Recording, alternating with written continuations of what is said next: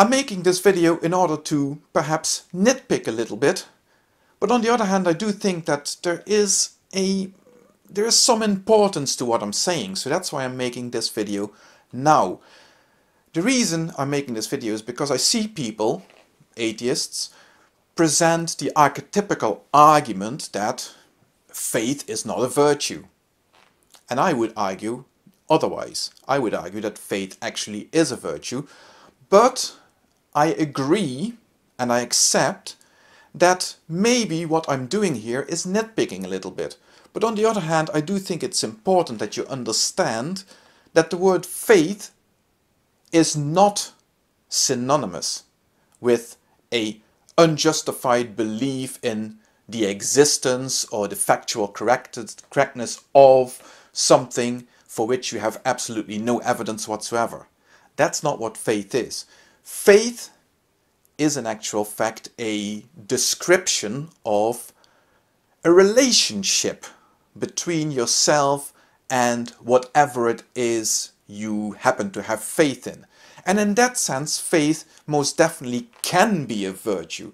Because if you led your life in a manner in which you do not have faith in absolutely anything, including your own abilities, the people around you, especially the people who love and care for you, your society, and whatever else, then you are reduced to a pitiful existence in which you approach everybody and everything around you from a perspective of utter paranoia and distrust.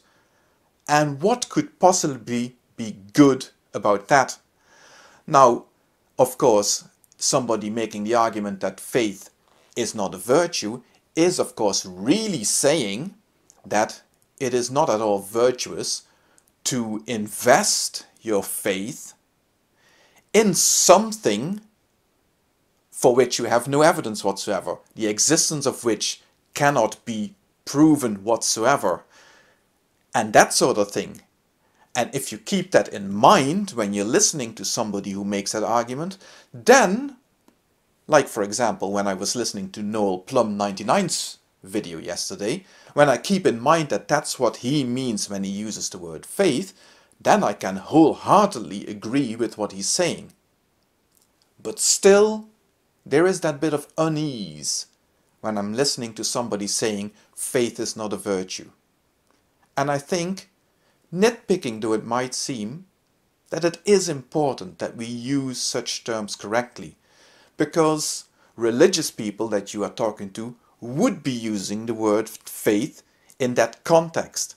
And that's why there is such a disconnect, such a misunderstanding between the atheists who are making the one point on the one hand and the theists who are listening to this and who have an understanding of the word faith that is completely different to how it was intended by the person making the argument.